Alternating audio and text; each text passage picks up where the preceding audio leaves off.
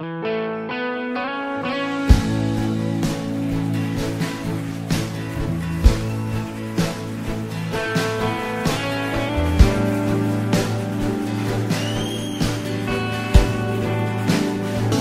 dia, bom dia a todos que estão ouvindo aqui a Rádio 93 FM. Aqui é a Sara Fração, de novo a gringa inglesa, com os pais brasileiros, o sangue brasileiro e a alegria de Jesus Cristo.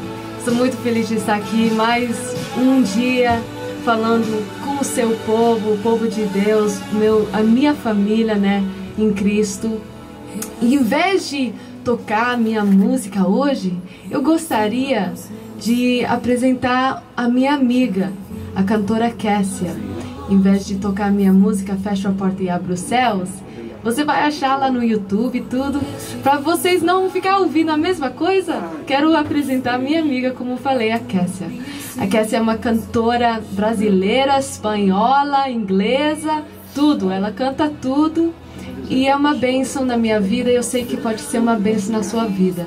A música é Listen to Me, em inglês, mas eu gostaria que você tocasse. Amém. Aleluia, que lindo. Enquanto que a música está tocando, escuta a letra, mas também escuta a palavra que Jesus tem para você hoje.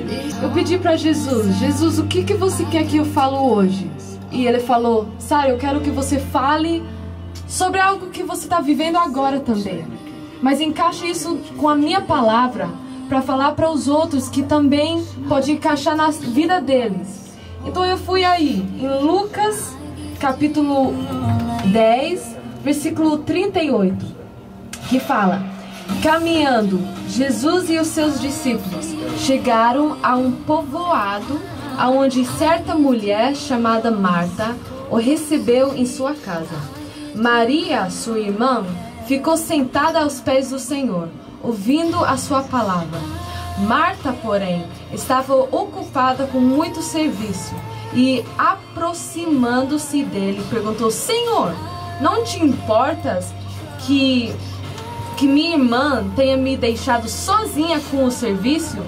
Disse-lhe que me ajude. Respondeu o Senhor: Marta, Marta, você está preocupada e inquieta com muitas coisas. Todavia, apenas uma é necessária. Maria escolheu a boa parte e esta não lhe será tirada. Amém? Eu, Sara, tô a Marta nesse momento. Por exemplo, eu, o meu CD vai sair, eu tô resolvendo tantas coisas, tantas coisas, música, uh, vídeo, muitas coisas. E eu tô como a Marta. Eu tô preparando tudo para o Senhor, preparando com o melhor esforço para fazer a melhor coisa que eu posso para ele. E tem muitas vezes que ele tá falando para mim, Sara, você tá preocupando de tanta coisa, mas você não sabe que eu sou o Deus de detalhes? Eu que cuido dessas coisas pequenas que para você parece tão grande. Eu sou o Senhor não essa experiência, essa situação que eu tô vivendo agora não pode ser a mesma. Pode ser que você tá preparando tantas coisas para o seu congresso, pastores. Você tá uh, louvando em tantos lugares e você tá tão preocupado com tantas coisas que você esquece de sentar aos pés de Jesus. Você esquece de descansar na palavra dele, na presença dele. Todo dia é uma corrida, é uma corrida, é um, uma corrida, uma corrida contra corrida. o tempo. Contra Vai o, o, o tradutor, o meu pai. corrida contra o tempo. Todo dia tem tem escola, trabalho, faculdade, conta para pagar, família, tantas coisas que o nosso tempo para Deus fica muito pequeno.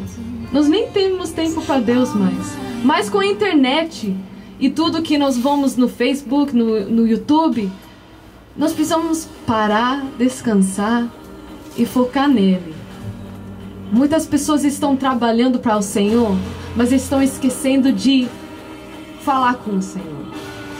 Nessa rádio, tem tantas pessoas nesse programa fazendo o melhor para Deus, pregadores pregando todo dia sem parar. Mas onde é que está o lugar secreto? Você está pregando tanto que você esquece de orar no seu quarto sozinho? Você está falando de Jesus tanto para as outras pessoas, mas agora não sente o que você fala mais, porque o coração está vazio. Você só fala da boca. Isso já aconteceu comigo. Eu na Inglaterra era a única cristã, eu já falei aqui. E muitas vezes eu fazia muitas coisas, exames, tudo, e eu falava de Jesus para as pessoas, mas eu esquecia de Jesus no meu quarto. Por causa do mundo. Tantas, tantas coisas acontecendo, eu esqueci de entrar no meu quarto e mesmo conhecer o meu pai. Então o que, que eu peço para você hoje? Faça como Maria, né? Maria, que ficou sentada aos pés de Jesus. Faz como ela. Senta aos pés de Jesus e escuta o que ele tem para falar. Como essa música está tocando agora no fundo, eu vou traduzir ela. É uma oração ao Pai, pedindo: escuta o meu clamor. Eu não consigo fazer isso sozinho. Deixa tocar essa música e deixa as, as pessoas, os, a minha família em Cristo, ouvir o Espírito Santo falar através dessa música, através da melodia. Tem tantas músicas que eu ouço que nem sei a letra, mas o Espírito Santo fala mesmo assim. Glória a Deus, descansa no Senhor. Deixa os detalhes com Ele.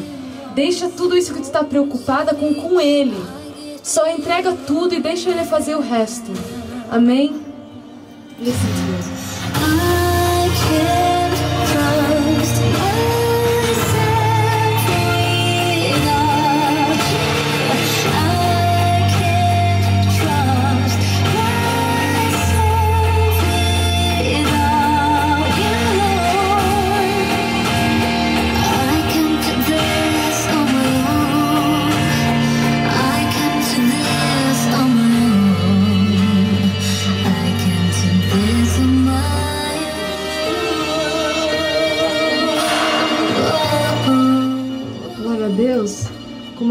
fala, nós não podemos fazer isso sozinho.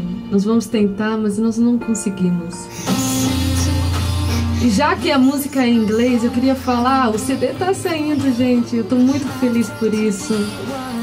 E vai ter duas músicas em inglês. Sim, para os meus minha família em inglês, my family, a todos que me ouvem dos Estados Unidos, I'm very happy about the CD coming out. There's going to be two songs in English for you guys. I haven't forgotten about you guys. It's going to be, it's going to bless your life. I hope it's going to bless your life.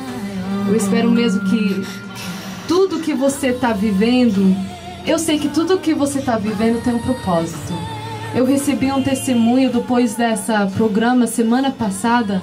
Alguém ligou para meu pai e falou que mesmo Deus tocou na vida dele, ele estava na estrada e ele estava perdido, não sabia onde, o que para fazer. E ele falou: quando eu ouvi Rodrigo, quando eu ouvi a, a Sara falando a música, Deus falou comigo. E isso é a coisa é a coisa mais bonita, sabe? De um cristão. Se você não tem amor pelo outro, quando Jesus toca no coração deles, é porque você esqueceu de quando Jesus tocou no seu. Se você não consegue perdoar o seu irmão, é porque você esqueceu os tantos pecados que você fez e a graça do nosso Senhor que perdoou a nós mesmos. Quando você esquece disso, você fica vazio. Acorda. Acorda, não é brincadeira. Perdoa e vai para frente. Glória a Deus. O meu pai vai falar aqui um segundo. Todos os irmãos, eu queria que nós orássemos por Rodrigo, que está sem casa, e foi eles entre muitos que ligaram depois. E a gente tem que salvar essas almas que estão com muitos problemas. Ele, eu estou orando por ele porque até a esposa ele abandonou, ele disse que maltratou ela, mas ele ia pedir perdão. E se Deus quiser, ele vai dar testemunho aqui na rádio 93.fm. Glória a Deus. Para todos, se vocês quiserem me, me convidar à sua igreja, eu posso contar um pouco do meu testemunho. É só entrar em contato no meu site www.sarafração, Sara com H, fração 2S ou N.com. Glória a Deus, Deus abençoe. God bless you.